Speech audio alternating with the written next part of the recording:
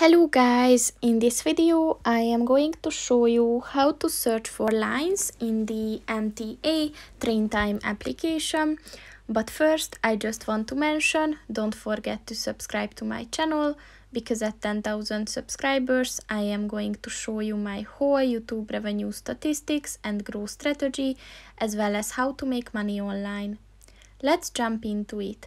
First of all, open the application on your phone and then uh, click on the trips button at the bottom of the page on the left.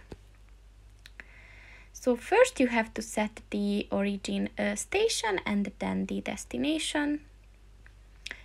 And uh, you can also set uh, the departure and the arrival time if you want to.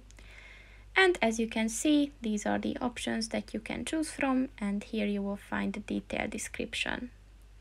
So that's pretty much it for this video guys. See you in the next one. Goodbye.